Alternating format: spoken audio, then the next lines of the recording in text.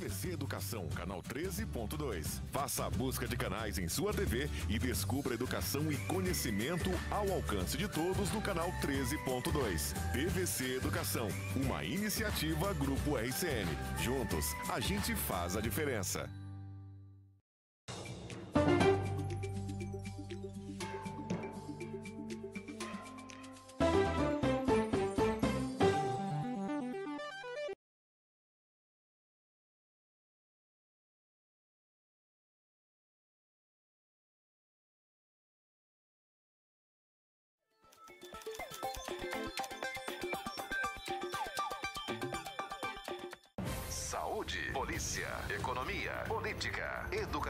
Prestação de serviço.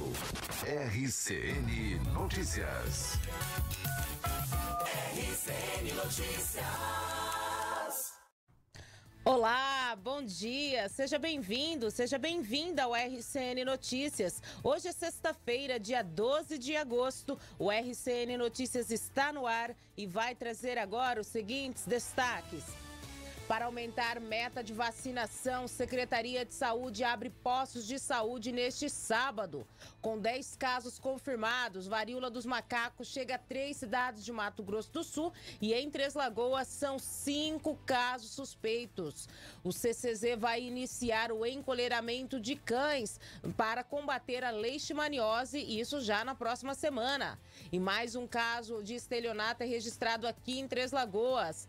Candidato do PSDB, Eduardo Riedel, será o nosso entrevistado do dia. Vamos saber um pouquinho sobre as metas, os planos de governo do candidato tucano caso seja eleito governador de Mato Grosso do Sul. 6h32, vamos agora com os destaques da nossa equipe. Eu começo agora com o destaque do Israel Espíndola. Bom dia, Israel. Bom dia a todos. Olha, já conhecemos o projeto Gigante Davi desenvolvido pelo mestre Tatu, né? Só que agora eles precisam de ajuda e para isso irão realizar um almoço. Daqui a pouco eu conto todos os detalhes. Combinado, Israel. Quem chega agora com seu destaque é a Tati Simon. Bom dia, Tati. Bom dia para você, bom dia a todos. A gente encerra a semana com uma reportagem falando do comportamento do brasileiro na hora de gastar o dinheiro. Como é que você está fazendo para manter as contas em dia, viu? Reportagem completa já já no RCN Notícias de hoje. Combinado, Tati. Vamos agora com o destaque do Rodrigo Lucas. Bom dia, Rodrigo. Dia, Ana, você e a todos que acompanham o RCN Notícias. Daqui a pouquinho a gente vai falar sobre mais um golpe que aconteceu aqui em Três Lagoas. A vítima perdeu 40 mil reais. É já já. Combinado, Rodrigo. 6h32 agora, 6 horas e 32 minutos. E agora nós vamos conferir a previsão do tempo. Vamos saber como fica o tempo para esta sexta-feira em Três Lagoas e em toda a região.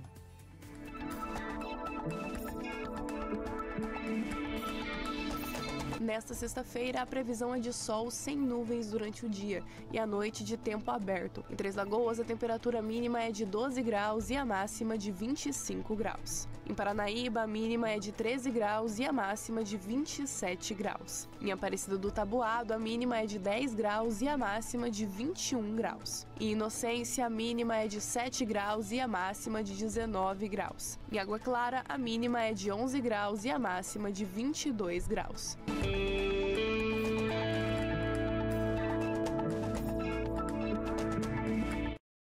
E Antônio Luiz, como está a temperatura e a umidade relativa do ar nesta manhã de sexta-feira? Bom dia para você. Bom dia, Ana. Bom dia também você que está ligadinho aqui no RCN Notícias nessa bela manhã de sexta-feira, 14 graus aqui em Três Lagoas. 92% de umidade relativa do ar, hein, Ana? Tá Olha, excelente, hein? Se fosse sempre assim, mas hum. estamos aí no finalzinho do inverno, né? Exatamente. E o inverno dando as caras mesmo.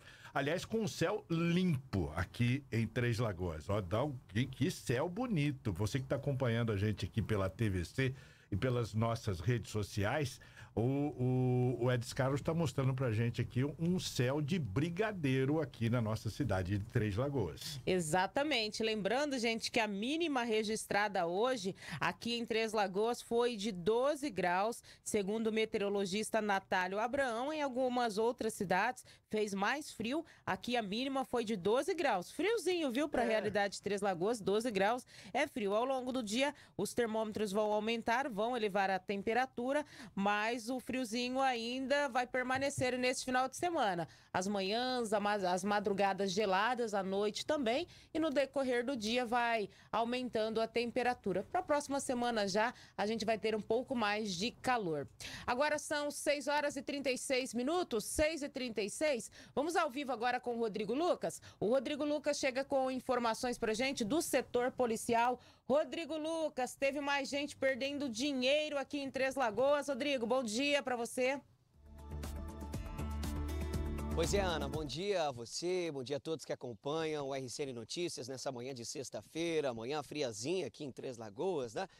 Bom, Ana, a gente fala sempre sobre golpes que estão acontecendo aqui na nossa cidade, golpes que têm se tornado aí frequentes aqui. Vira e mexe, a gente traz aqui uma ou duas ocorrências relacionadas a golpes diariamente aqui no RCN Notícias. E hoje, mais um golpe, um furto golpe aí, na verdade, aqui em Três Lagoas. O que, aconteceu?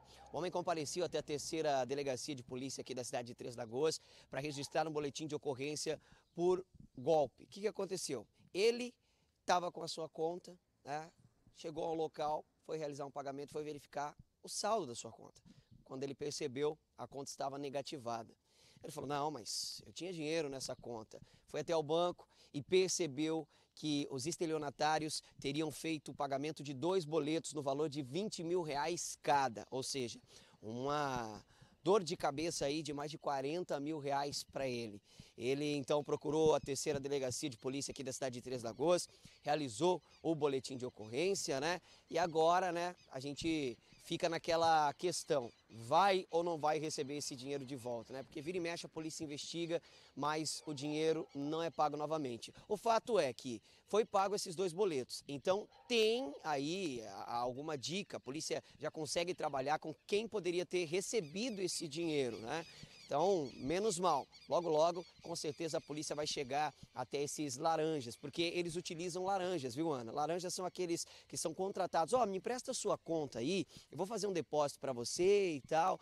Que já tivemos casos como esse de laranjas sendo presos aqui em Três Lagoas, né?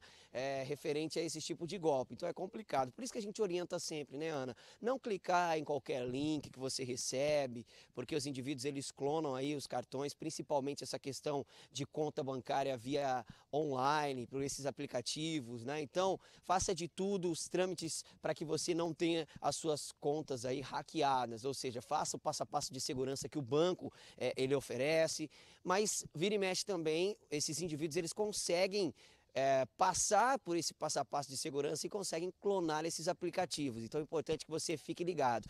A gente estava comentando aqui é, há pouco, referente a esses golpes que estão acontecendo, nós tivemos aí valores de 5, 6, 7, até 20 mil agora 40 mil reais nesses boletos pagos aí, né? Complicada a situação aqui em Três Lagoas. A polícia está investigando e com certeza vai tentar encontrar o autor ou os autores e também prender esses laranjas que foram aí utilizados para pagamento desses dois boletos no valor de 20 mil reais. Complicado, né, Ana? Um, um prejuízo aí de 40 mil reais começando a sexta-feira aí com a notícia dessa não é fácil não. O golpe tá aí. Cai quem quer. Volto com você ao estúdio. Obrigada, Rodrigo, pela tua participação. Agora são 6 horas e 39 minutos, 6 e 39. Daqui a pouquinho o Rodrigo Lucas volta direto das ruas da cidade, trazendo mais informações aqui no RCN Notícias. Lembrando que hoje nós vamos bater um papo ao vivo com o Eduardo Riedel, que é candidato do PSDB ao governo de Mato Grosso do Sul. É daqui a pouquinho nós vamos saber um pouquinho mais sobre as propostas, pl o plano de governo do candidato Tucano para as eleições deste ano, né? Caso seja eleito governador de Mato Grosso do Sul. É daqui a pouquinho, 6h40, porque agora nós vamos falando de um assunto sério, viu, gente? Que é saúde. Infelizmente, a cobertura vacinal em Três Lagoas está baixa. Por conta, de, por conta disso, a Secretaria de Saúde tem adotado várias estratégias para poder atingir essa meta da campanha de vacinação. Inclusive, gente, amanhã, sábado, os postos de saúde, tem postos de saúde que vão estar abertos para atender a população. Estou recebendo agora aqui no nossos estúdios a Humberta Zambuja, que é a coordenadora do setor de imunização, e vai dar mais detalhes para a gente a respeito do funcionamento dessa campanha. Humberta, bom dia, seja bem-vinda. Bom dia, Ana. Obrigada mais uma vez pelo convite. É uma honra estar aqui esclarecendo a população. E agora com essa novidade, né, por conta do programa Vacina Mais do governo do estado, nós estaremos aí por dois meses, né, agosto e setembro, é, atendendo as unidades de saúde, a sala de vacinação, das 7 da manhã até as 19 horas. Então, todas as unidades né, vacinais da cidade ficarão, permanecerão abertas na hora do almoço, ficarão uhum. até as 19. E sábado, né, amanhã, como você já disse, a novidade, teremos aí três unidades que estarão das 8 ao meio-dia, que são a unidade de saúde da Vilaro, do Interlagos e também do Santo André. Uhum. Então, essas três ficarão até meio-dia para estar tá aí atualizando a caderneta. E também, além da atualização, é, nós estamos também em plena campanha de polio, né, Ana? É, no caso amanhã, quais são as vacinas? É só contra a paralisia ou todas as demais vacinas? É, essa de amanhã ainda é para todas as vacinas, para todos os públicos, né? Desde a criança ao adolescente, ao adulto, todos os públicos estarão é, sendo contemplados. O dia D da campanha de pólio, na verdade, vai ser dia 20, né? Aí lá sim nós teremos a clientela é, prioritária menores de 14 anos. Mas para amanhã ainda é para toda a população, todas as vacinas, inclusive a de Covid, enfim, todas as todo o cardápio né, de vacinas aí do calendário nacional estarão, estarão sendo oferecidas amanhã. Porque todas estão com cobertura baixa, Huberta? Como que está a situação de todas? Todas, Ana. Quando você fala da criança, né, do menor de dois anos, é, o, a, as principais são a poliomielite, a vacina pentavalente, a meningite. Todas as vacinas da criança estão com uma cobertura baixa. O Ministério da Saúde nos preconiza uma cobertura mínima de 95% das nossas crianças menores de dois anos nós estamos em torno de 76% a 80% algumas vacinas. Então, todos estão precisando. Quando você fala da vacina de Covid, a quarta dose está ainda baixa, a terceira dose do adolescente também está baixa. Então, de modo geral, todas elas. E quando a gente fala da vacina específica da polio, que é a gotinha que estamos em campanha agora, nós também temos que atingir 95%. Então, mesmo que a criança esteja com a vacina em dia, ela tem que comparecer à unidade para receber a gotinha da, né, da vacina polioral, que é contra a paralisia infantil. Inclusive, vocês estão indo até as unidades é, escolares, né, os centros de educação infantil, para atingir essa meta, né, Humberta? Se Exatamente. os pais não levam, vocês estão indo até as crianças, né? É, como que é o ditado? Se a montanha não vai a Maomé, Maomé vai a montanha, ou é. vice-versa. Mais ou menos assim, Ana é, por conta dessa, dessa meta que nós temos. Então, a parceria com a Secretaria de Educação é uma parceria muito positiva. Né? Agradeço a professora Ângela, que sempre esteve aí conosco, né? grande parceira, portas abertas, porque as unidades de vacinação estão indo até as unidades escolares, onde estão essas crianças menores de 5 anos, para fazer a gotinha. Porque mesmo que esteja com a vacina em dia, a gente entende que a, vida do pai, né, é corrida, que tem que trabalhar, tem que entrar na fábrica, tem que bater o, o ponto, né? Então é, é uma vida realmente espartana que, que a nossa sociedade vive hoje. Não é mais aquela vida rural, né, que o tempo parece que passa mais devagar. Então a gente entende é, é, essas obrigações que hoje a sociedade civil tem para com o cidadão. E é muito realmente corrido. E aí o pai pensa assim: a vacina está em dia, né? Para que, que eu vou no posto? Tá tudo certo, tá tudo ok. Mas a particularidade desta campanha da poliomielite é que, mesmo estando tudo em dia, que é bom que esteja mesmo, a criança tem que tomar mais ainda a gotinha, que é a vacina oral. Então, por isso, nós estamos indo até as unidades escolares, todas as 18 unidades escolares né, que tem a clientela menor de 5 anos estarão sendo aí visitadas pelas equipes de saúde. Então, a gente pede para que a família envie a caderneta de vacina para a gente estar registrando ali a vacina oral, que é a gotinha contra a poliomielite, que nós vamos estar fazendo nessas duas semanas. Essa semana já fizemos, semana que vem ainda, antes do dia 20. E sem a caderneta vocês não aplicam a vacina, que seria uma autorização, né? Exatamente, Ana. Sem a caderneta nós não podemos aplicar, porque a gente entende que o pai não, não, atual, não autorizou, né? Então a gente não está pedindo para essa vacina neste momento a autorização por escrito do pai, eu autorizo mas a gente entende que o enviar a caderneta é autorização. Então, quem não enviou, nós vamos depois mandar um bilhetinho dizendo procure a unidade de saúde. Aí sim a pessoa vai ter que se adequar no horário, né? Vai perder essa comodidade de estarmos levando ali na escola. Então ele vai ter que se deslocar até a unidade no horário que estiver aberto para poder levar seu filho para vacinar. Humberta, conforme você falou, vocês já estão com horário estendido durante a semana. Os postos de saúde, gente, estão funcionando até as 19 horas para aplicar vacina. Ainda assim, o número é baixo de pessoas que estão procurando as unidades de saúde depois das 17 horas. Tem toda uma equipe que fica lá aguardando as pessoas para se vacinarem e ainda assim as pessoas não comparecem. O que, que acontece, Humberta? Por que está tão baixa a cobertura vacinal de todas as vacinas? Por que, que as pessoas não querem se proteger? Nós estamos com esse horário estendido, né, que é das 17 às 19, mas eu acredito que a população ainda ou não saiba ou ainda não se acostumou, porque é nova essa medida, né? É, então, assim, mês de, de agosto todinho, mês de setembro, nós estaremos. Então, a gente quer ajuda da mídia para divulgar essa informação, uhum. para que as pessoas é, saibam dessa comodidade, né, de estarem indo. Então, a gente atribui primeiro a, a desinformação, né, das pessoas em relação a esse horário estendido. E o outro fato que a gente atribui às baixas coberturas é essa correria que as pessoas vivem hoje, né? Então, assim, aproveitem essa oportunidade e vão até a unidade, né? Não precisa ser necessariamente o pai ou a mãe, pode ser a avó, uma tia, né? Um responsável aí é, maior de idade para levar essa criança para ela se vacinar. Então tem que aproveitar essa oportunidade que está sendo feita. E também outra, outra coisa que a gente atribui nas baixas coberturas é a falta da memória visual das pessoas de verem um doente dessas é, doenças que são imunopreveníveis, ou seja, preveníveis pela vacinação é, o fato de você não ver mais uma criança com sarampo, uma criança com paralisia infantil, né? Ou mesmo com a rubela, ou principalmente o tétano, né? Que é uma doença, graças a Deus, erradicada aí no, no Brasil. Mas a gente não tem. A... Por quê? Por conta do controle da vacina. Então, a gente não tem a memória visual. Então a gente acaba deixando para depois. Ah, depois eu levo, depois eu levo. Ah, não é nada grave, depois eu levo. E, e na verdade, os vírus, as bactérias, eles estão ali loucos esperando uma oportunidade para encontrar um organismo para eles habitarem, porque eles precisam de, de um. Né? Eles são um parasita que precisa de um hospedeiro. O hospedeiro somos nós. Então, se a gente não tiver vacinado, nós vamos ser hospedeiro de, de, desses vírus, né? Eles são oportunistas. Se eles acharem uma pessoa não vacinada, eles vão habitar aquele organismo e essa criatura vai, então, adoecer gravemente ou se tornar até incapaz para o resto da vida, que é uma doença incapacitante. Ela vai causar paralisia dos membros e depois ela vai comprometer também o sistema respiratório, que é o caso da paralisia infantil.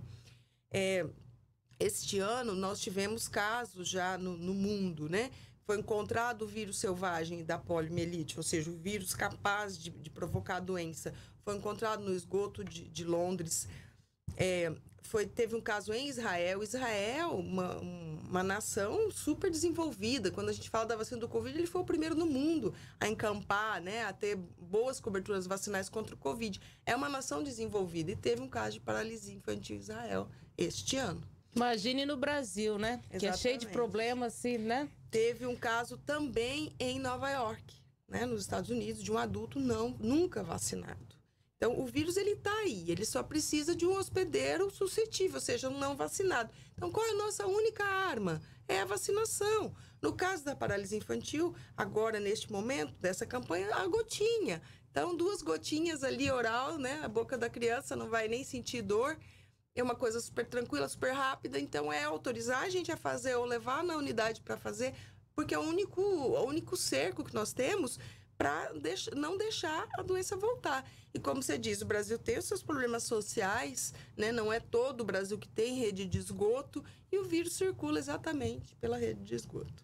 Deus me livre chegar aqui, né, Humberto? Então, gente, bora se imunizar, bora vacinar, gente. São todas as vacinas vão estar disponíveis amanhã. Humberto, vamos repetir as unidades de saúde que vão estar funcionando neste sábado. Gente, tem muita gente que não trabalha amanhã sábado, tá de folga. Leva teu filho, vá você mesmo, você que ainda não tomou a vacina contra a Covid, a quarta dose, a terceira dose, a segunda dose. Tem muita gente que não está com o seu esquema vacinal completo. Leve as crianças, não deixa voltar tudo novamente vírus, essas doenças que já foram erradicadas. Amanhã, então, três postos vão estar funcionando. Isso, amanhã a unidade do Santo André, da Vilaro e do Interlagos, das 8 ao meio-dia. Essas três unidades. E quando a gente fala do Covid, Ana, em específico, a gente não não está vendo mais aquelas pessoas, né, aquele histórico da pandemia que a gente teve das pessoas adoecerem gravemente, irem para UTI e virem a óbito. Só que o vírus ele está circulando. Hoje a doença não está sendo fatal por conta de que várias pessoas já estão imunizadas até a terceira, algumas com a quarta dose. Só que o vírus ele existe, ele ainda está circulando, as pessoas estão tendo é, sintomas achando que é uma gripe ou mesmo uma alergia e na verdade é o Covid. Agora, se você pega uma pessoa que não está com o esquema completo, ou uma pessoa diabética, ou um idoso, ele sim pode ainda estar tá vindo a óbito por conta da Covid. Daí a importância da vacinação. Obrigada, Humberta. Eu que agradeço, Ana. Grande abraço e aguardamos vocês então amanhã. Tá aí, gente. Esses três postos de saúde vão estar funcionando amanhã até o meio-dia. Dá tempo de você ir lá, se vacinar, levar as crianças. Hoje também, hoje, sexta-feira ainda, as unidades vão estar abertas até às 19 horas, ao longo da semana. Se você não tem tempo, às vezes durante o dia, vai à noite, depois das 17, não perca essa oportunidade. 6 horas e 51 minutos agora, 6 e 51. É, daqui a pouquinho a gente vai, volta para falar sobre a situação financeira financeira, pagamento de contas, muita gente endividada. Daqui a pouquinho nós vamos falar sobre esse assunto. Daqui a pouquinho a gente vai bater um papo também ao vivo com o candidato do PSDB ao governo de Mato Grosso do Sul, Eduardo Rido. A gente tem muitas informações no RCN Notícias desta sexta-feira. Apoio Hospital Auxiliadora, 102 anos de cuidado com a vida. Estoque materiais de construção, do básico ao acabamento, a melhor compra para você. Vidrobox, Rua João Carrato, 1040. RCN Notícias.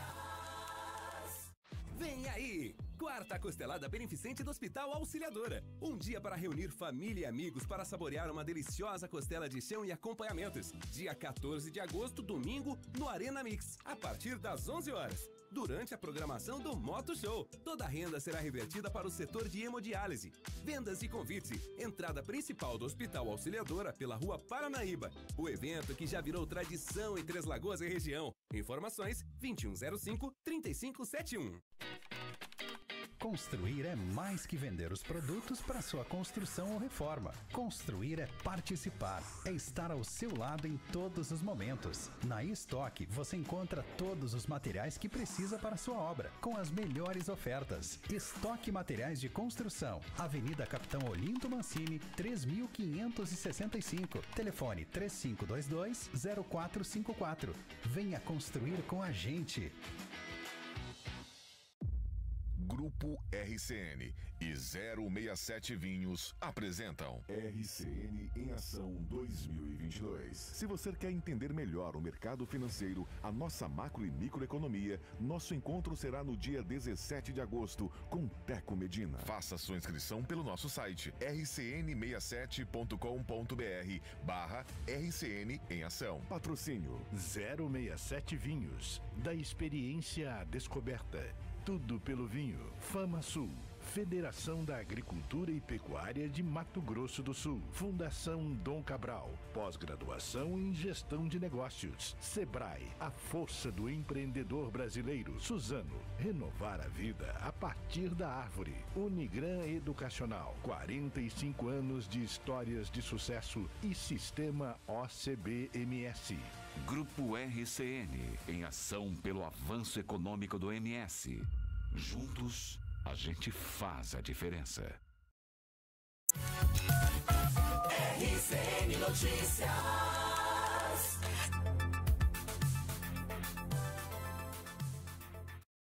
6 horas e 54 minutos agora, 6 e 54 Bom dia, muito obrigada a todos que estão na audiência, na sintonia interagindo com a gente. Fique à vontade para mandar o seu bom dia, para comentar os assuntos que estamos abordando. Eu quero agradecer a audiência do pessoal que já está interagindo com a gente aqui pelo Facebook do JP News, pelo Facebook da Cultura e da TVC. Muito obrigada a todos pela audiência, pela sintonia. É, a Selma Carneiro, né? Obrigada, viu, Selma? Selma. Ela diz: Olha, ontem a moça do censo passou aqui em casa. Eu achei poucas perguntas em relação a outro, aos outros anos. Obrigada, viu, Selma, pela tua participação. Então, a Selma já foi visitada pela equipe dos recenseadores, né? Eu quero agradecer aqui também a audiência da vereadora Sayuri Baez, né, vereadora? Obrigada pela audiência, viu? Pela sintonia, pelo carinho.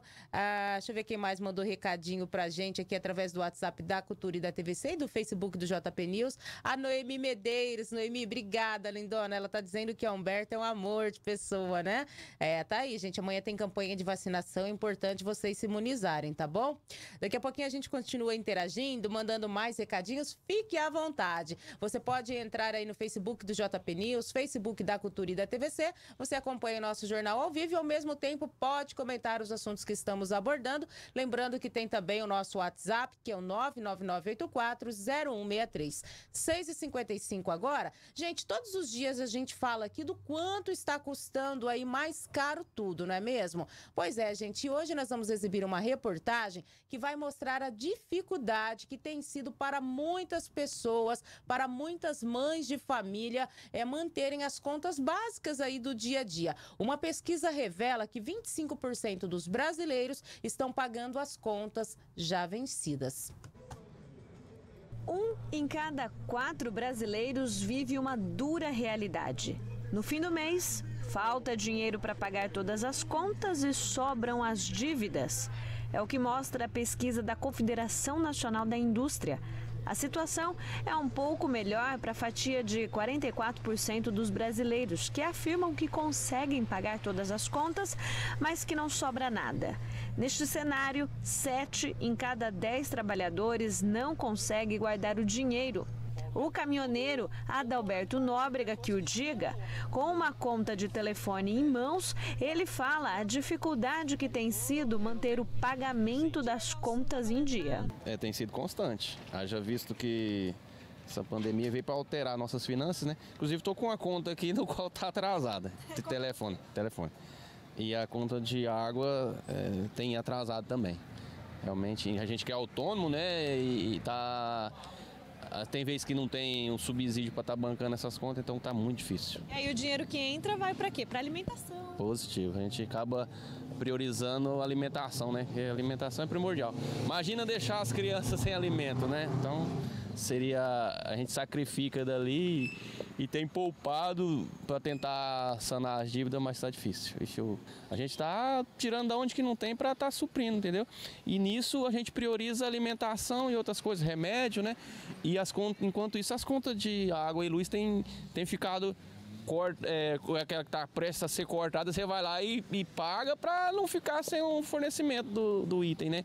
O levantamento também cita que 19% dos entrevistados deixaram de pagar o plano de saúde e que 16% chegaram a vender bens para quitar dívidas. Além disso, outros 14% deixaram de pagar ou atrasaram por alguns dias o pagamento do aluguel ou da prestação do imóvel. Inflação, desemprego, renda em queda, juros em alta, orçamento apertado e contas atrasadas.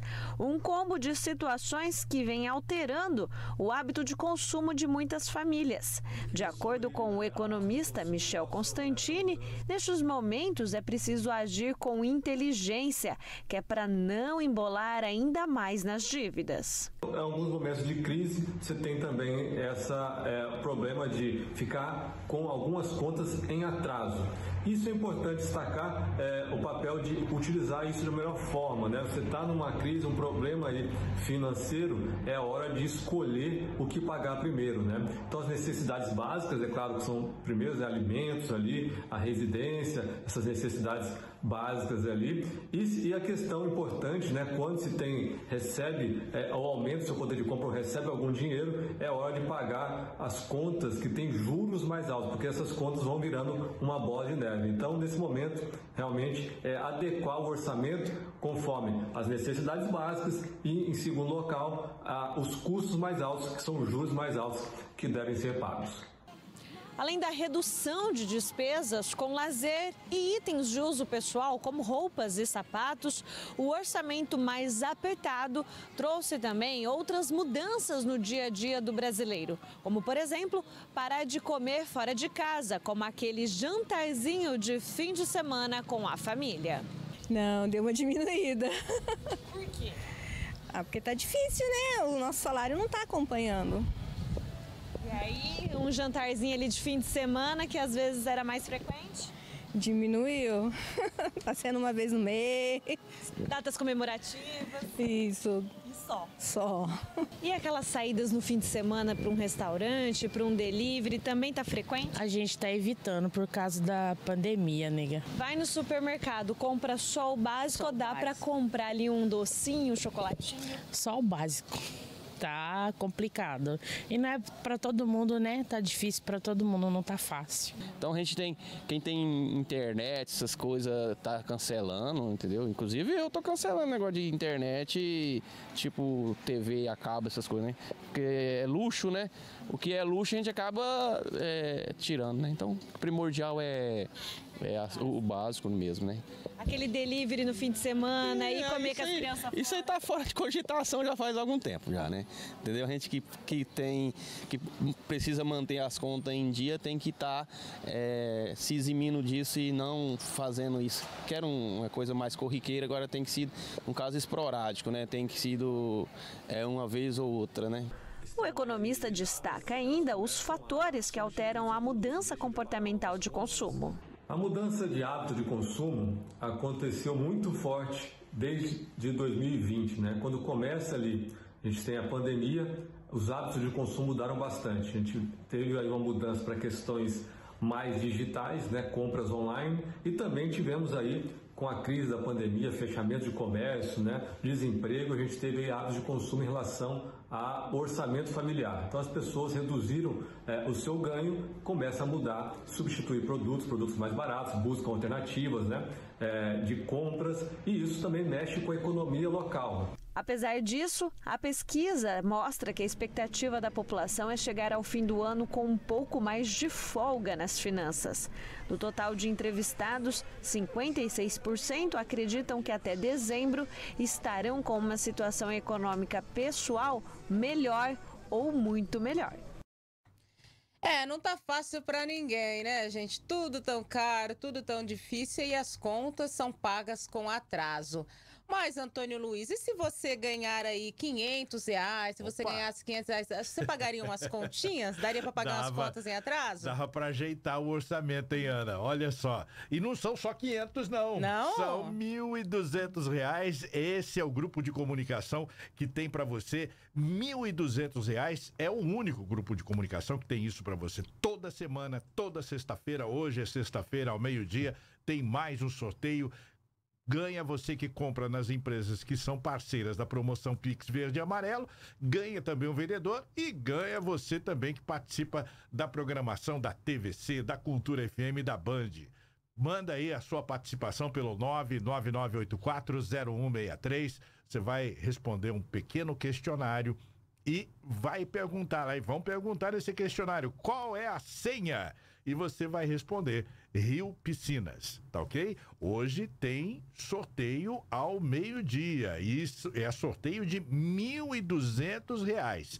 E para facilitar aqui, vou falar para você algumas empresas que estão participando do Pix Verde Amarelo. Para você também aumentar suas chances chegando, fazendo suas compras nessas empresas, você pede o seu cupom virtual, tá? O pessoal vai escanear lá um QR Code e pronto, você também já vai estar concorrendo a 500 reais. Ó, na Multisoldas, Depósito de Gás Avenida, Ótica Especializada, Sete Farma, Digimac, PJ Performance Auto Center, Depósito de Gás ao Gás, Postos BR, Nikkei e Paraty, Trilhas da Amazônia, Tuareg Seguros, Auto Oeste Chevrolet Consórcios, WCA Ferragens, Rio Piscinas, Três Lagoas, RKM Máquinas, Sol Imóveis, Ótica Bambu Brasil, Autopeças Mercenova, Refrigás Refrigeração, Campos Imobiliária, Loja Essencial, Elétrica 3 e Três Lagoas Solar.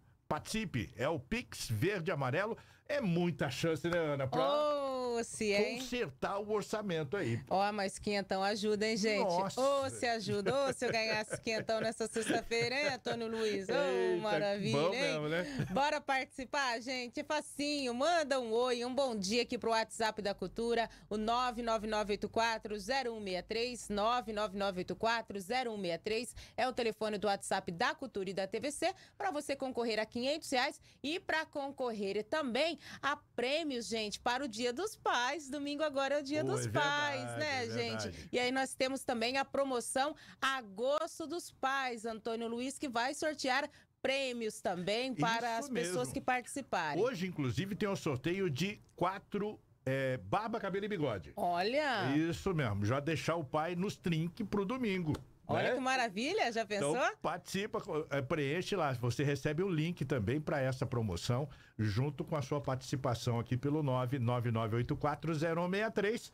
Papai. Ó, feliz. merece, né, Afinal de- gente? De, contas, agosto dos pais, né? Exato. E você já comprou o presente pro papai? Ainda não? Dá tempo ainda. Bora prestigiar também o comércio de Três Lagoas, viu, gente? É importante, né? É que você compre no comércio da nossa cidade, valorize o comércio local. Isso é muito importante, gente. Você valorizar o comércio de Três Lagoas, né? É, pois é. Daqui a pouquinho a gente vai bater um papo aqui com o candidato do PSDB ao governo de Mato Grosso do Sul, Eduardo Riedel, viu, gente? Será o nosso entrevistado daqui a pouquinho. Eu quero agradecer a audiência de todos que já estão na sintonia, aguardando aí esse bate-papo. É importante, né? A gente se inteirar é, das propostas, dos planos de governo dos candidatos, afinal de contas, esse é um ano de eleição, esse é um ano que você vai escolher quem vai governar o nosso estado, quem vai governar o nosso Brasil. Então você precisa ficar muito atento às propostas e aos planos de governo dos candidatos. E daqui a pouquinho, então, a gente vai bater um papo ao vivo com o Eduardo Riedel, que é o candidato do PSDB. Agora são 7 horas e 6 minutos, 7 e 6. A gente vai falando agora de um projeto, gente, muito bacana. Olha só, um projeto esportivo desenvolvido aí pelo mestre Tatu, gente, no Jardim Santa Rita, vai realizar inclusive uma ação para arrecadar fundos. Esse dinheiro, gente, será utilizado para custear a participação dessas crianças nos campeonatos de jiu-jitsu. A reportagem é do Israel Espíndola. Nós já mostramos aqui o projeto social Gigantes Davi, onde crianças de diversas idades se reúnem três vezes por semana para treinarem o jiu-jitsu. Eles montam o tatame, correm, brincam, mas na hora do treino levam a sério. Mas o projeto precisa de ajuda para pagar os custos e manter os treinos gratuitos. O idealizador do projeto é o Antônio Erasmo, mais conhecido como Mestre Tatu.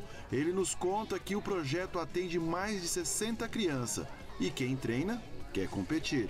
O nosso intuito aqui, além de formar bons cidadãos, né? A gente também tem ideia de também projetar atletas também, né? E para isso tem cursos, né? É, apesar da, da ajuda que nós temos bastante, já, a gente fica feliz, satisfeito com isso, mas tem carteirinha que tem que fazer da molecada e inscrições das competições também, que não é tão barato. E, e, e a nossa ideia do projeto aqui não é sobrecarregar os pais. Então a gente tenta fazer uma ação daqui, fazer uma ação ali, para dar menos carga nas costas dos pais. O Lucas Bernardino, de 14 anos, é um jovem promissor no jiu-jitsu. No próximo dia 20, Lucas vai para Campo Grande competir. E a ansiedade já toma conta. E a expectativa é de ser medalhista de ouro. Torcer em primeiro lugar, claro. No começo era só fazia por diversão. Agora eu quero começar a pegar mais a sério.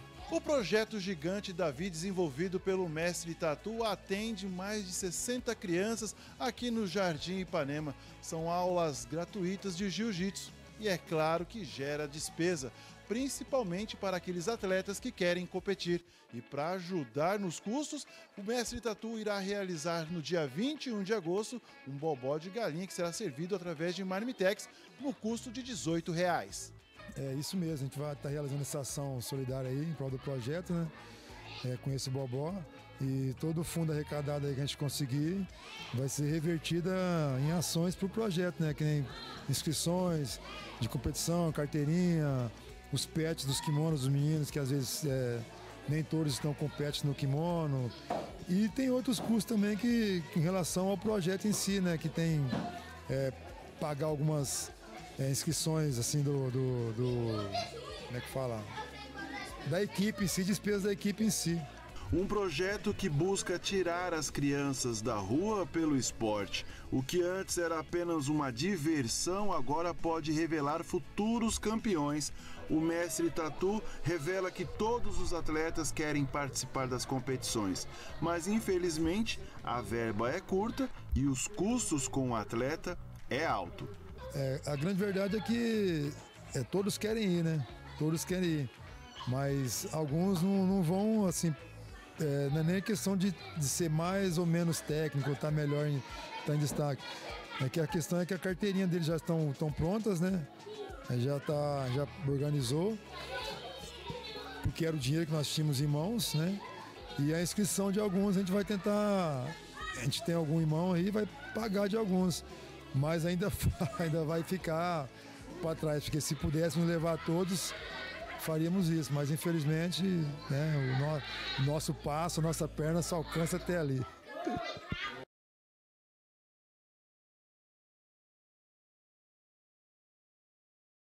Minutos, 7 e 10. Olha só que projeto bacana esse projeto desenvolvido com as crianças, né, gente? Olha só, gente, daqui a pouquinho nós vamos bater um papo ao vivo com o candidato do PSDB, Eduardo Riedel, já está aqui em nossos estúdios. Mas antes, Antônio Luiz, vamos falando de um evento muito bacana que vai acontecer neste final de semana aqui em Três Lagoas, em prol do Hospital Auxiliadora.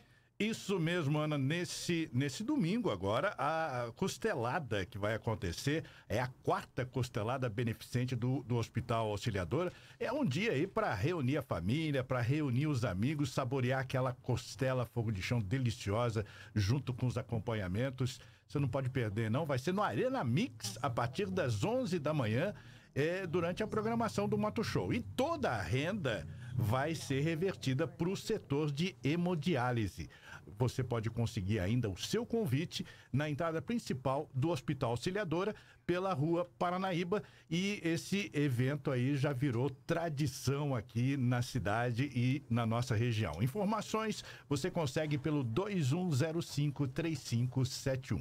Ana?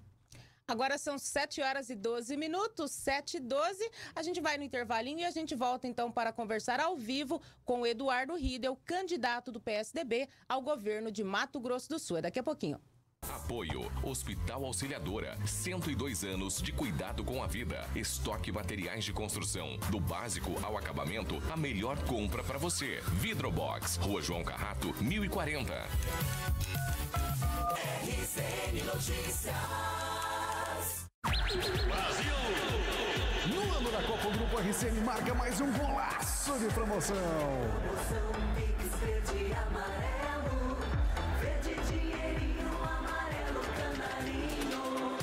nas empresas participantes, preencha seu cupom virtual e concorra a 1.200 reais. Mais uma camisa amarelo canarinho toda sexta-feira. Atenção para as empresas participantes que batem um bolão no atendimento. Multisodas, Depósito de Gás Avenida, Ótica Especializada, Sete Farma, Digimac, PJ Performance Auto Center, Depósito de Gás Algás, Postos BR, Nikkei Paraty, Trilhas da Amazônia, Tuareg Seguros, Auto Oeste Chevrolet Consórcios, WCA Ferragens, Rio Piscinas Três Lagoas, RKM Máquinas, Ótica Bambu Brasil, Autopeças Mercenova, Refrigás Refrigeração, Campos Imobiliária, Loja Essencial, Elétrica 3. Mais um golaço de promoção do Grupo RCN. Construir é mais que vender os produtos para sua construção ou reforma. Construir é participar, é estar ao seu lado em todos os momentos. Na estoque você encontra todos os materiais que precisa para sua obra, com as melhores ofertas. Estoque Materiais de Construção, Avenida Capitão Olinto Mancini, 3565. Telefone 3522 0454. Venha construir com a gente.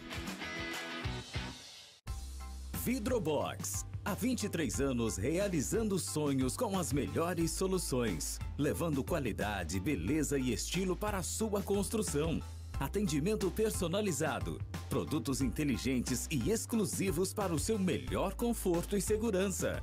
Guarda-corpo em inox ou vidro. Esquadrias de alumínio. Muxarabe.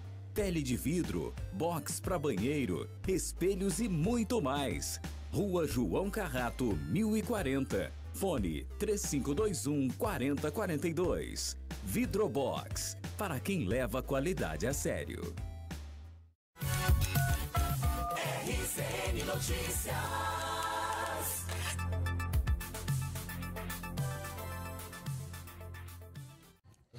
Agora são 7 horas e 15 minutos, 7 e 15, de volta com o RCN Notícias. E conforme anunciado, gente, nós vamos conversar agora com o candidato do PSDB ao governo do Mato Grosso do Sul, Eduardo Riedel, que já está aqui na nossa bancada, nos nossos estúdios, a quem a gente agradece por ter aceito o nosso convite.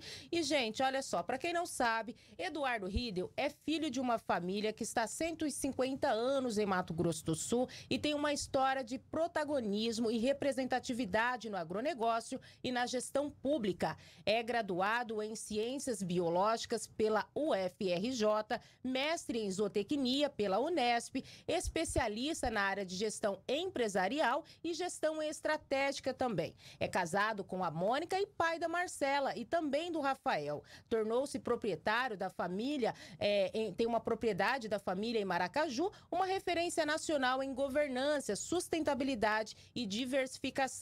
Foi presidente do Sindicato Rural de Maracaju, da FamaSul, diretor da Confederação da Agricultura e Pecuária do Brasil e se tornou uma das 100 personalidades mais influentes do agronegócio brasileiro. Em 2015, Riedel foi convidado a assumir a Secretaria de Governo na gestão de Reinaldo Azambuja e conduziu reformas importantes, tornando Mato Grosso do Sul uma referência nacional em vários aspectos, com transparência, eficiência, investimentos e, nos últimos anos, no enfrentamento da pandemia e retomada da economia. Enquanto secretário de Estado, teve um papel fundamental na modernização da máquina pública, na condução do desenvolvimento econômico, social e humano de Mato Grosso do Sul. Após tantas experiências, foi chamado para um novo desafio: ser candidato do governo de Mato Grosso do Sul pelo PSDB. Esse é o nosso entrevistado do dia, Eduardo Riedel. Bom dia, seja bem-vindo. Bom dia, Ana Cristina. Um prazer estar aqui com vocês, falando com todos que nos ouvem, nos assistem né, no grupo RCN Notícias. É um prazer estar aqui com você. Eduardo, o que levou o senhor a aceitar o convite para sair candidato ao governo de Mato Grosso do Sul pelo PSDB? Ana, eu nunca, nunca deixei de aceitar grandes desafios na minha vida. Né? Foi assim quando eu fui para a Federação de Agricultura, para a própria Confederação em Brasília. Se nós lembrarmos, foram. eh, tá, Foi assim quando eu assumi os negócios da família. Né? Eram desafios à época muito grandes né? para mim, pessoalmente, para minha família, para a Mônica, ah, com quem eu casei. E quando eu entrei no governo, foi também um desafio, uma decisão importante. Eu nunca havia participado da gestão pública, eu sou empresário, estava consolidado com as minhas coisas, participando da, da Confederação Nacional da Agricultura e fui chamado a contribuir com o Mato Grosso do Sul. né? E a época já foi um grande desafio. E foram sete anos de dedicação muito intensa a construir um modelo de gestão e de trabalho que levasse o Mato Grosso do Sul a ter os resultados que tem hoje como consequência. E no final do ano passado, no começo do ano, um grupo eh, da sociedade civil organizada, de lideranças políticas, me convidaram a participar desse processo, né, como pré-candidato a governador e agora como candidato a governador eh, nesse pleito de 22. Uma decisão importante de vida, né? Conversei com a família novamente, a gente discutiu muito o assunto e topei encarar esse desafio, mas o mais importante, né, com muita tranquilidade, lembrando sempre que é representando um modelo de trabalho. Eu acho que isso é o fundamental. Nessa aliança com a deputada Tereza Cristina, que vai para o Senado, a gente tem um alinhamento de propósito muito grande, né, e nós vamos defender esse modelo para o Mato Grosso do Sul. Seus adversários alegam que o senhor seria um continuismo do projeto que está aí. Como o senhor recebe essas críticas? De maneira muito natural, eu acho que quem fala isso tem que, tem que se propor a debater o Mato Grosso do Sul. É continuismo do quê? Né? Vamos qualificar um pouco a, a fala fácil que eu chamo. Né? A crítica fácil. É, o Reinaldo é o Reinaldo, o Riedel é o Riedel. Cada um tem o seu modelo de trabalho, seu jeito de fazer as coisas, o seu entendimento ah, em relação a como conduzir a gestão pública. Agora, muitas das políticas públicas ah, iniciadas, e eu participei delas, muitas delas, sim, nós vamos continuar. né? Se é continuismo, continuar com mais social, pagar a conta de energia das 150 mil famílias que nós pagamos, manter o municipalismo, então é continuismo. Né? Eu pergunto para os adversários, eles não vão continuar suas políticas públicas? Vão deixar de fazer? Então, eles é que têm que saber se não é continuismo de política pública ou não. Eles não vão continuar com o Mato Grosso do Sul, que é o primeiro lugar em investimento no Brasil e o estado que mais cresceu nos últimos dois anos. Então, política pública bem sucedida é continuidade, sim. Jeito de gestão, maneira de fazer, cada um tem o seu. Pois é, falando em Três Lagoas especificamente, uma- Três Lagoas recebeu aí do governo do estado, na gestão do Reinaldo Zambuja, 720 milhões de reais em investimentos em obras. Os demais municípios também foram beneficiados e caso o senhor seja eleito governador de Mato Grosso do Sul, Três Lagoas pode continuar esperando esses investimentos por parte do governo do estado? Esse é o continuismo, viu, Ana? Então, assim, eu digo aos adversários que eu acho bom eles darem continuidade também. Os 79 municípios foram contemplados, receberam um volume muito grande de investimentos e não há dúvida né, que se eu for eleito eu vou dar sequência, sim, a um modelo que privilegia o investimento no município. E por uma razão muito simples. É no município que as pessoas moram e é lá que, se você fizer o investimento, você destrava o crescimento do município em várias frentes e, como consequência, quem cresce é o Estado. Então, olha o que aconteceu com o Mato Grosso do Sul. Né? E fala assim: ah, vocês estão investindo nos municípios. É claro que estamos e vamos continuar. Bom, eu pelo menos vou, se eleito for.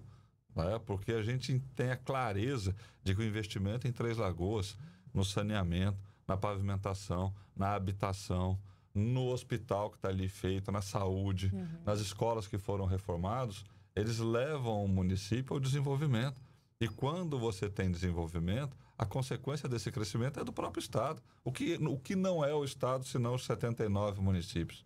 Então, é, é, é falta de pensar estrategicamente o Estado e crítica fácil. Né? Eu acredito que é, a gente construiu a condição de atrair o capital privado para o Estado e, em paralelo, o investimento público ele vai estruturando nossas cidades e nossos municípios. Esse é o eixo de desenvolvimento que a gente quer ver. Pois é, é, muitas pessoas até se surpreenderam bastante com o governo do Reinaldo Zambuja, que ele sempre colocava isso mesmo, né? Nós vamos ajudar os municípios e realmente ajudou. A gente viu que, porque geralmente os governos, os governadores, não investem tanto nos municípios, né? E o governo do Reinaldo foi um governo municipalista, levou o asfalto, que é o grande anseio da população. O que as pessoas mais querem que quando você faz uma, uma pesquisa e pergunta para as pessoas o que você quer? asfalto na minha porta, para quem não tem asfalto na minha rua. Então, esse é o seu modelo de gestão, caso o senhor seja eleito. Tem a possibilidade dos municípios continuarem recebendo mais pavimentação asfáltica? Vão, vão continuar recebendo, Ana. Tem, tem duas coisas muito importantes da gente observar. A pavimentação asfáltica, ela deve vir, ela deve vir acompanhada de drenagem. A gente não faz mais asfalto sem drenagem, seria uma irresponsabilidade. Muitos fizeram, nós não fazemos, porque é uma irresponsabilidade. É uma obra eleitoreira. É uma obra que ela dura 4, 5 anos, porque vai ter problema. E a outra é esgotamento sanitário, saneamento básico. né? Se nós não levarmos saneamento em massa primeiro e ir fazendo a pavimentação, eh, você também não adianta ter asfalto e não ter saneamento para a pessoa que está naquela casa. Então a gente fez primeiro o trabalho de universalização de saneamento, que está em andamento Ter uma parceria público-privada uma parceria público-privada que está levando 1,6 bi de investimento nos próximos cinco anos e conclui saneamento. E, em paralelo a isso, nós vamos continuar investindo na pavimentação dos bairros dos municípios. Existe a possibilidade de todas as cidades serem contempladas com 100% de asfalto? Existe, existe, nós estamos trabalhando nesse plano. Mas você é louco, Eduardo, não vai dar. Falei, dá, já, já quantificaram? Alguém já parou para medir? É verdade, né? Quanto que é? Alguém sabe esse número? Eu não vou falar porque eu vou falar só no debate depois, lá na frente. Mas É alguém, possível. alguém levantou esse número? É possível. Já fizemos muito. Três Lagoas vai ser contemplado em todos os seus bairros com uma ação em massa de pavimentação, porque a drenagem está andando. Eu- ontem eu vi o prefeito Ângelo Guerreiro trabalhando, está fazendo um baita trabalho. E não é comum prefeitos investirem em macrodrenagem, porque é uma obra que some. Agora, é essencial você fazer macrodrenagem, depois microdrenagem, para entrar com pavimento. O prefeito está fazendo, porque eu, eu fui lá ver a, a, Pois a é, e, e eu, inclusive, estou com o meu repórter, o Rodrigo Lucas, que está nas ruas da cidade. Todos os dias a gente sai com a nossa equipe volante, percorrendo os bairros de Três Lagoas. E o Rodrigo Lucas está justamente acompanhando uma obra que está em execução na região ali da- do Parque das Mangueiras, na região da Quinta da Lagoa, na região ali da Avenida Rosário Congro. Rodrigo Lucas, que obra você está visitando hoje? Bom dia para você. Pois é, Ana, bom dia novamente a você, bom dia novamente a todos que acompanham o RCN Notícias. Está falando aí, estou ouvindo vocês comentarem sobre macrodrenagem, né? Nós estamos acompanhando nesse momento, né, nossa equipe nas ruas, trazendo as principais informações para a RCN. Estamos acompanhando aqui justamente uma obra de macrodrenagem, uma grande obra. Vou pedir até para que o Edis Carlos filme para a gente aqui, uma obra grandiosa que está acontecendo aqui na cidade de Três Lagoas, né? Uma obra que com certeza vai ajudar muitas pessoas é, e com certeza, né, o investimento que vem sendo realizado aqui na cidade de Três Lagoas não é diferente. Vira e mexe, nossa equipe está nas ruas acompanhando aí essas obras que estão acontecendo. Inclusive, eu estou aqui também e por coincidência, viu, Ana? Estava falando aí, por coincidência, eu encontrei aqui que nada mais, nada menos que o prefeito Ângelo Guerreiro, né? Ele estava por aqui fazendo aquelas lives, né? Que todo mundo já sabe que ele costuma fazer aquelas lives. Pedi para que o prefeito, prefeito, chega por aqui, para que ele consiga falar com a gente um pouquinho mais sobre essa obra, essa obra de suma importância aqui para Três Lagoas. Tava por ali fazendo a sua live ali, né? Já todas as manhãs. Ele, logo pela manhã cedinho, vira e mexe, a gente encontra ele nas ruas aqui de Três Lagoas. Ô, prefeito, chega por aqui, vamos conversar um pouquinho aqui. Tudo bem? Como é que o senhor tá?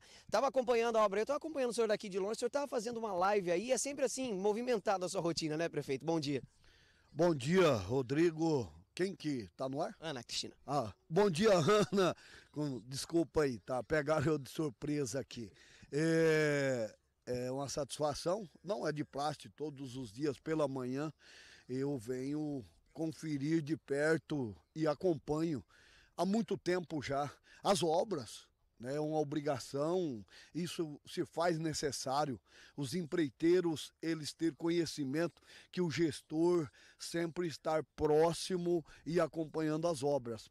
E ao mesmo tempo ali acompanhando eh, uma das nossas patrulhas fazendo a limpeza roçada de um terreno cheio de mato aqui, tá? Então, ao mesmo tempo, já fiz também é, esse vídeo ali para poder apresentar, porque nós não estamos limpando o terreno de proprietário particular gratuito, não. Primeiramente, ele recebe um presente que é uma multinha. Aí, após a multa, ele recebe um outro presente que é a conta da limpeza do terreno dele. Nós queremos que todos tenham aí não somente um terreno, que tenha dois, tenha três, tenha um quarteirão, tenha dois, mas cuida dele, porque o vizinho não é obrigado a, a sofrer as consequências é, por conta das mazelas, da sujeira, local que vira criadouro de mosquito, né? E, e, e isso nós estamos fazendo valer. Mas é uma satisfação. A Ana estava falando agora há pouco no estúdio, né, antes da gente entrar aqui com o senhor, sobre as obras que estão acontecendo aqui na cidade de Três Lagoas e principalmente essa obra, né, aqui que a gente está aqui, eh, a gente estava falando sobre isso, né, qual é a importância dessa obra para a população de Três Lagoas? Uma obra muito cobrada pela população e que agora está saindo do papel, né? Com certeza. Bom, eu voltando, fazendo uma réplica, me pegou eu tanto de surpresa que eu nem cumprimentei os ouvintes, os telespectadores, os nossos internautas, a vocês aí que estão ligadinhos, é muito importante estar acompanhando eh, as notícias e, por sinal, de uma imprensa com grande alcance e grande seriedade. Né? Realmente, Rodrigo e Ana e a todos que estão aí nos acompanhando, eh, as obras não param. Da forma que vocês estão acompanhando, acredito eu, vocês telespectadores, jamais visto no cenário de Três Lagoas é, o número, a quantidade de tubulações como essa. É, são obras caríssimas, é obras que gestor não na verdade, não é que não quer fazer, Rodrigo. Na verdade, é a falta de recurso. É, uma obra de uma proporção como essa daria para nós fazermos três a quatro tantos de, de pavimentação nas ruas. Nós estamos aqui no bairro Quinta da Lagoa, aonde é, é, esperado por muitos anos, principalmente né, Ana, onde leva aí o nome é, Rosário Congro, que é a continuação da avenida após a Ranulfo Marques Leal. E por conta do que que isso não evoluiu? Por conta do impacto que vocês estão vendo aqui, do valor é, proporcionado à parte da drenagem. E se não fosse com parcerias, jamais nós conseguiríamos fazermos as obras que nós estamos fazendo. Parceria de que forma? O governo do estado tem sido um paizão para nós três lagoenses. E com isso está é, tá sendo possível nós realizarmos esse sonho é, de milhares de três lagoenses. E o Quinta da Lagoa, ele foi dividido em quatro etapas, Ana. Né? Essa é uma das primeiras etapas mais volumosa em valores, né? É, é aonde nós vamos fazer um quadrilato aqui que será, vamos, digamos aqui, é, é, a Ranulfo Marques Leal, como a Avenida João Tomes e a Capitão Olinto Mancini na antiga linha férreo. Somente esse local aonde nós estamos neste momento, aonde vocês estão observando essa parte da drenagem, aqui não vai ser pavimentado. Por conta do quê? Até o então, do lado direito, onde nós estamos, que é a antiga linha ferro, não tem residência. Então nós vamos atender primeiro aonde mais necessita, após a finalização, depois nós faremos essa obra de pavimentação aqui. Então, a outra região é a segunda etapa, é, terceira etapa, nós trabalhamos com etapa. Avenida João Tomes, ela pega aqui no bairro Jardim dos Ipês, ela cruza uma avenida importantíssima que é a Capitão Olinto Mancini, ela cruza uma outra avenida que é a Baldomero Leituga e ela se inicia e ela se finaliza numa avenida importantíssima, antiga Ponta Porã, que cruza aqui o bairro Vila Alegre. Bairro Vila Alegre, nós temos uma outra obra, já estou com recurso em caixa, que é, é de emendas de bancada parlamentar, 14 milhões e 300. Dá, não dá, mas nós temos uma complementação entre a, a Egídio Tomé, a Capitão Olinto Mancini. Nós vamos fazer uma obra como essa que vocês estão vendo aqui. Essa, lá é uma das primeiras etapas. E vamos trabalhar para o cruzamento dessa avenida João Tomes, que ela vai dar vida ao bairro Vila Alegre e toda essa região, com certeza, não diferentemente da Avenida Custódio Andres, que nós já estamos em obras. Tá certo, nós estamos com a Ana no estúdio. Ana, tem alguma pergunta para o prefeito? Ou, Não, eu tipo, só quero Ana? agradecer ao prefeito Ângelo Guerreiro. Obrigada, viu, Ângelo? A gente sempre acompanha aí o teu trabalho logo pela manhã. A gente sempre tem essa rotina, sempre toda semana a gente sempre bate papo aí com o prefeito falando dessas obras. E é importante a gente destacar, mostrar essas obras, porque a gente justamente está aqui nos estúdios, viu, prefeito, com o candidato do PSDB, Eduardo Riedel. E o senhor falou aí do governo do estado, né, que é parceiro dessas obras. O Riedel, quando foi secretário de infraestrutura, a gente sabe que também teve um papel importante para que essas obras se tornassem uma realidade. Então é importante a gente sempre falar dessas obras de drenagem, Três Lagoas sendo contemplada com recursos aí é, altíssimos, né, para resolver esses problemas dos grandes alagamentos de Três Lagoas, coisas que a gente esperou tanto tempo e agora vai se tornando uma realidade. Então, obrigada, viu, prefeito, pela tua participação. E eu volto ao vivo aqui com o Eduardo Riedel, né, Riedel? A gente estava falando justamente sobre isso, sobre essa questão de obras. Está aí o prefeito que fala justamente sobre a importância dessa parceria com o governo do estado, né? É, primeiro transmitir um grande abraço ao Ângelo Guerreiro, né? E falava com você aqui em off, né? E falo para o público ouvir com muita tranquilidade que o Guerreiro é um desses prefeitos que pensa estruturalmente a cidade. Né? Quando ele vai buscar as parcerias, eu era secretário de obras, quantas e quantas vezes estive com o Guerreiro discutindo e planejando Três Lagoas. E ele falava: olha, a gente precisa resolver o problema da macro drenagem, senão não dá para fazer asfalto.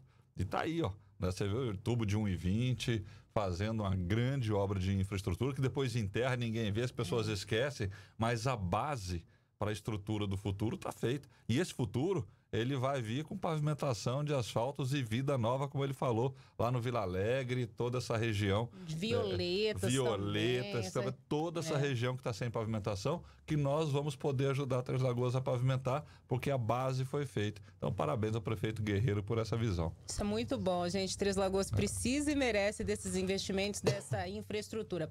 Mas, Ideu, falando um pouquinho sobre logística, porque Três Lagoas, né, Mato Grosso do Sul, de um modo geral, tem recebido aí grandes investimentos da iniciativa privada. Nós temos agora uma fábrica de celulose se instalando em Ribas do Rio Pardo.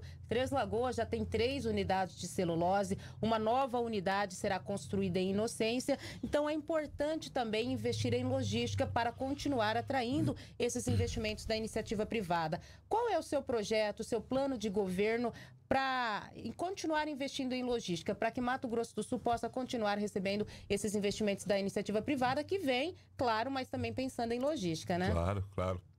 Ana, são algumas ações concretas, né? Primeiro, uma ação política muito forte em cima do governo federal para a estruturação dos dois eixos federais que existem entre Três Lagoas e Bataguaçu, que é a 262 e a 267. É, nós precisamos urgente fazer investimento de duplicação, de melhoria nessas dois, duas rodovias federais.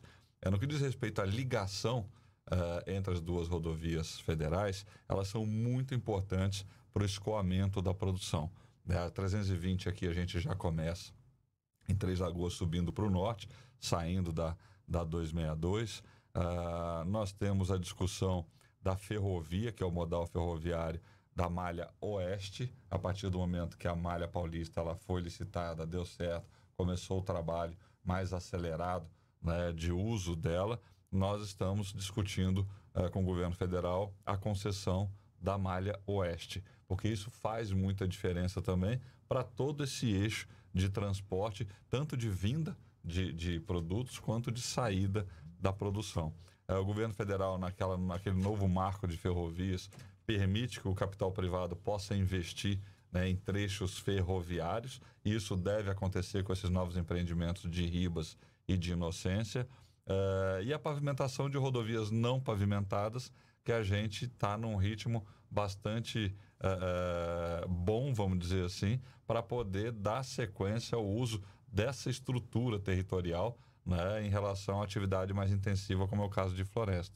Então a gente enxerga claramente essa necessidade dos investimentos que tem acontecido né? e pressionar uh, o governo federal naquilo que é atribuição deles para que a gente tenha a solução de alguns casos emblemáticos Como aí a 262, para resolver. né? Como a 262, é fundamental. Né? Não, não, dá mais. Né? É uma questão assim, já, o, o, Brasil ele vai evoluindo, satura uma estrutura como a 262, não dá mais para empurrar. Né? Nós temos que urgentemente resolver essa questão. Está marcado agora para setembro ou outubro a nova concessão do 63, que envolve a 262 até Campo Grande. Uhum. Né? Se isso acontecer, já é um grande passo, é o que a gente tem buscado junto ao governo federal.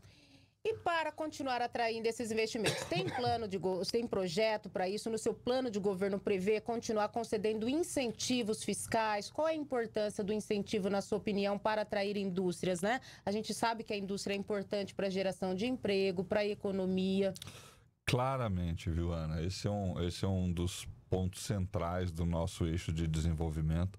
Uh, não só um projeto arrojado de incentivo fiscal, participei diretamente da construção da lei uh, do novo marco do incentivo fiscal que o Mato Grosso do Sul adotou, copiado pelo DF, pelo Goiás, para que a gente pudesse ter uh, uma postura né, de atração desse capital. Agora, o mais, além do incentivo fiscal, uhum. tem outra coisa muito importante eu participei diretamente da atração dessas empresas para cá. Quando você senta com o empresário, e na verdade com o seu conselho de administração, com a equipe ou com o seu diretor, uh, eles colocam na mesa sempre uma série de outras questões que aí o Estado tem que ter a capacidade direta de investimento. A Suzano, por exemplo, nós estamos fazendo uma rodovia de 100 quilômetros, a 338, que liga Camapuã a Ribas. Nós estamos ligando mais 120 quilômetros a 245 de Bandeirantes até a 338, porque dá a eles a, a, a, perspectiva e a segurança de que eles terão, dentro de um eixo de produção, de um raio de produção, competitividade para trazer a matéria-prima. E só um Estado com capacidade de investimento tem essa condição. Da hora que ele puser na mesa, você fala, pode ficar tranquilo, que isso aqui a gente cumpre. Uhum. Ah, mas a gente precisa do anel viário, do eixo ah, ah, de chegada com três pontos para Exatrem. Ok. Né? Nosso compromisso com é de 230 milhões de investimentos. Aí nós vamos fazer, está fazendo, está acontecendo. Então, só um Estado com capacidade de investimento pode olhar no olho do empresário, do investidor, que vai pôr 15 bilhões e gerar centenas de emprego, que é o que nos interessa. Exatamente. É o que nos interessa. E ter essa condição de falar: olha, fica tranquilo que nós vamos proporcionar isso, porque essa é a função do Estado. né? Então, a gente tem uma tratativa com o setor produtivo é, muito tranquila, muito transparente e com capacidade para garantir que aquele investimento vai ser bem sucedido. E isso também pode acontecer nessa região de Inocência. Ontem, inclusive, eu até conversava Desculpa, com. pode não. Vai, Vai acontecer vai? nessa região de inocência. Pois é, ontem Vai eu até acontecer. conversava com a Adélia, que é a fiscal do Imaçu, que está responsável por esse projeto da instalação da indústria de celulose no município de Inocência. Inclusive, o Imaçu já esteve no local, vistoriando a área. Vai acontecer todo aquele processo de audiência pública. Então, é uma realidade essa fábrica de celulose do município de Inocência. A gente sabe da importância desse empreendimento para a região da Costa Leste. E a Adélia até falava, aí vem todo aquele processo que a gente precisa sentar com o governo do estado, o governo precisa investir, porque os empresários exigem isso. Caso o senhor for eleito, essa região de Inocência, essa região da Costa Leste, também vai ser beneficiada? Não tenha dúvida disso. Já, eu, eu já tenho os planos com perspectivas do investimento em função desse novo investimento ali da Arauco eh, em Inocência. E veja, tá- a gente está falando de infraestrutura, vamos caminhar para o outro lado. Né? Você lembrou do Imaçu e da licença ambiental. Olha o aprendizado que foi fazer o licenciamento em tempo recorde da Suzano, ali em Ribas, para esse novo empreendimento. Então, essa, essa curva de aprendizado já passou. Com toda a responsabilidade, resguardando as boas práticas para a preservação do nosso meio ambiente, aquela indústria vai ser licenciada em tempo recorde também. Aí eu lembro lá de 2015, quando eu desenhei a junção da Secretaria de Meio Ambiente com a Secretaria de Desenvolvimento. E todo mundo falava assim: você está louco, não pode, não deve. Ora, a Alemanha é assim, a Inglaterra é assim, está fazendo gestão territorial. Por que, que meio ambiente tem que ser antagônico a desenvolvimento? E se a gente mesmo fala em crescimento sustentável, em desenvolvimento sustentável, então vamos juntar essas estruturas e o Jaime, secretário Jaime, eh, conduz com muita competência eh, tanto os órgãos reguladores ambientais quanto a política de desenvolvimento do Estado e eles se falam e conversam de maneira muito entrosada. Né? Desenvolvimento respeitando o meio ambiente, preservação ambiental sem prejudicar o desenvolvimento. É assim que nós temos que conduzir as coisas. Né? Isso foi feito em 2015. Tem que desburocratizar. Ó- né? Olha como amadureceu, É. desburocratizou, acelerou. O resultado está aí. Emprego, emprego, emprego, investimento dentro do nosso estado. E é o que precisa, né? Mas falando ainda no turismo, nessa região da Costa Leste, Três Lagoas, essa Costa Leste, ele tem um potencial turístico fantástico, mas ainda pouco explorado. Qual é o seu plano de governo para o turismo? Olha, o turismo é um dos eixos mais prioritários de desenvolvimento. Anteontem eu tive lá na FEComércio recebendo o Vai Turismo, inclusive com uma série de sugestões né, para uma política mais arrojada de investimento em turismo.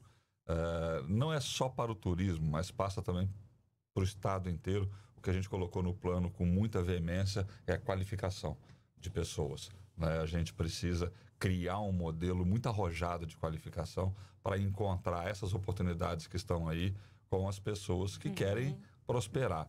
O turismo passa por isso também. né? Passa por investimento privado, passa por investimento público, passa por qualificação, eh, passa por promoção.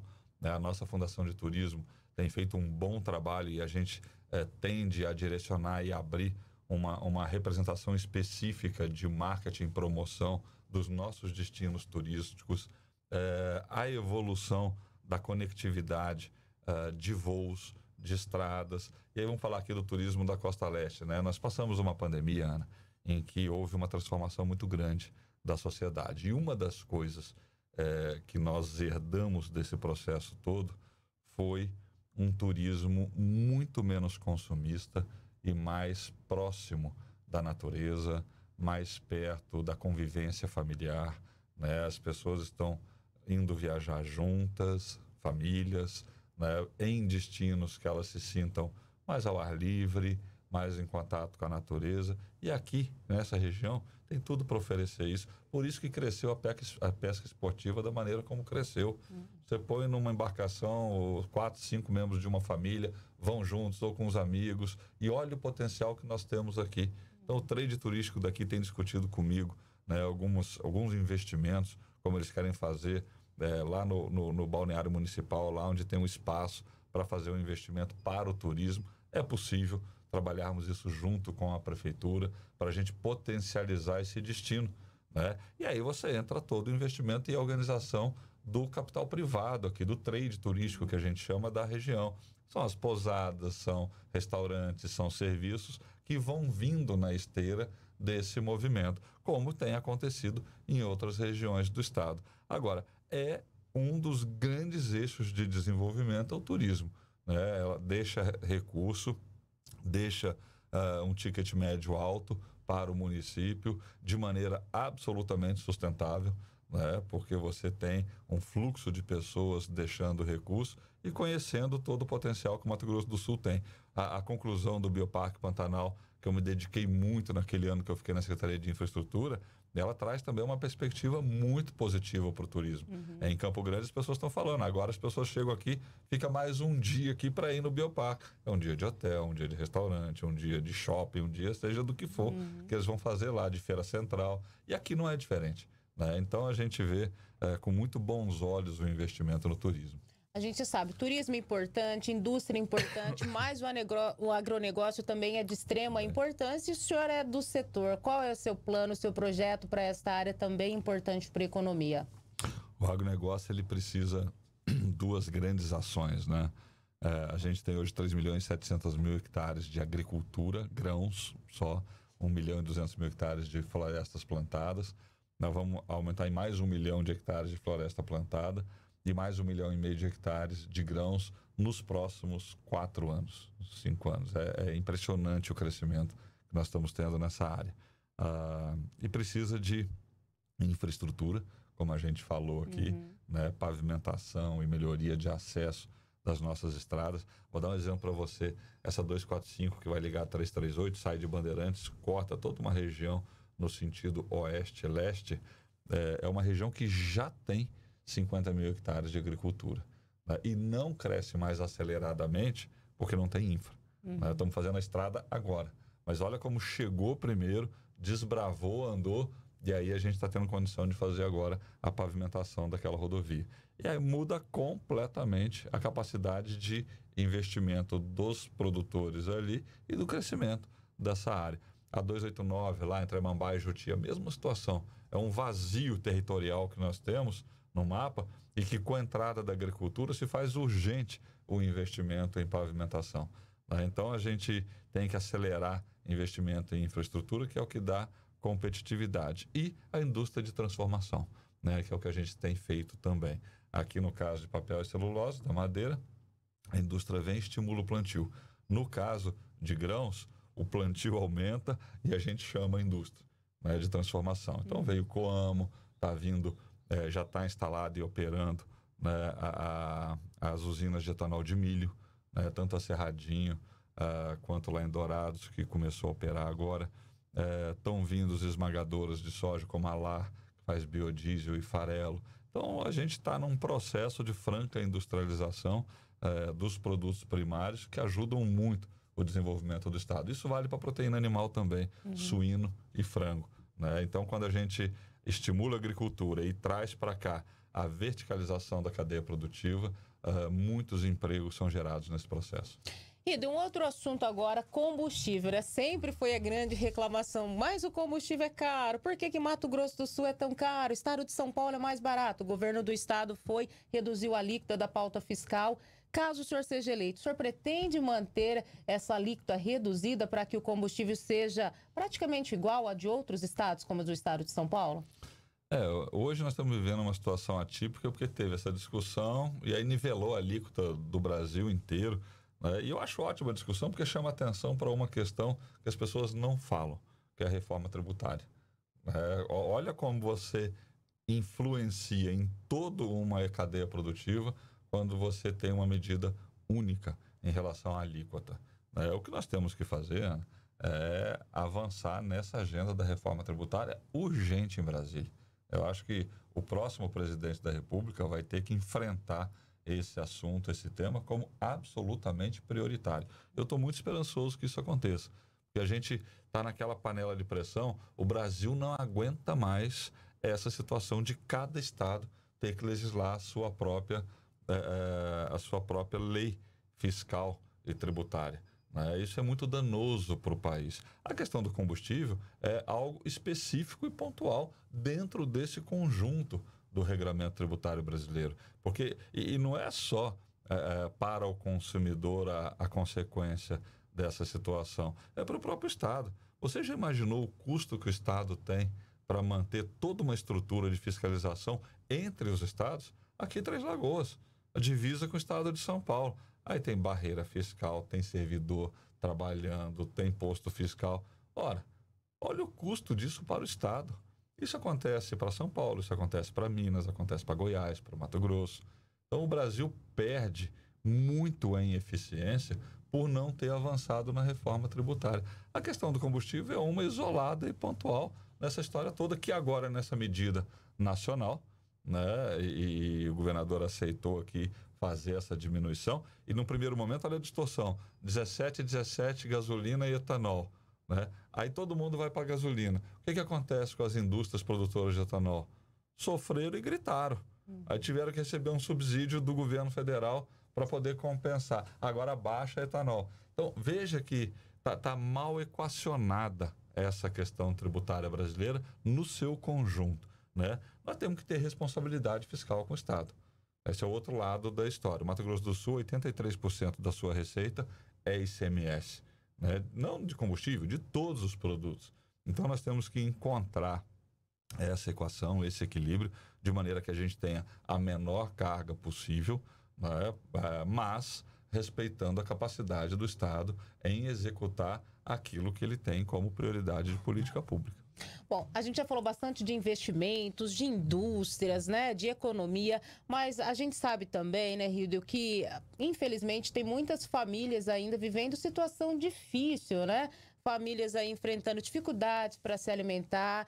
E qual é o seu plano de governo para o social? O senhor tem um olhar voltado para essa área também ou não?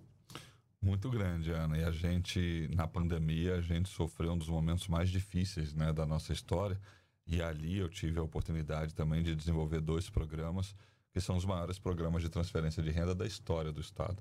Né? No final do ano passado, nós implementamos uh, o Mais Social. Eu era presidente do Prosseguir e a gente monitorava todos os indicadores de saúde e economia e a gente estava vendo né, a situação de, de perda de renda de muitas famílias. Então, o Mais Social, eh, ele chegou ao valor de 300 reais no cartão.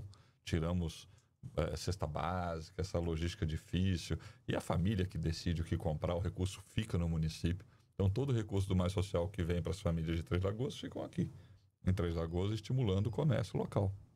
Né? Então, foi um programa de muito sucesso. Uh, e eu já coloquei no plano de governo, se você for lá olhar, é o valor de 450 reais para o Mais Social a partir do ano que vem. Né? Por conta muito da inflação que nós estamos tendo no país, aumenta do preço dos commodities, alimentos principalmente. Estamos né? num ambiente de guerra lá na Ucrânia, na Rússia, afetou a economia uh, do mundo inteiro. Então, aumentar o valor do programa e a prorrogação do pagamento da conta de energia para as 152 mil famílias que recebem esse benefício do governo. Né? Famílias inscritas no CAD Único que tem uma conta uh, mais consumo de até 220 quilowatts, uh, o governo é quem paga essa conta. Né? E ajuda muito no orçamento dessas famílias. Esse programa vence em fevereiro de 23.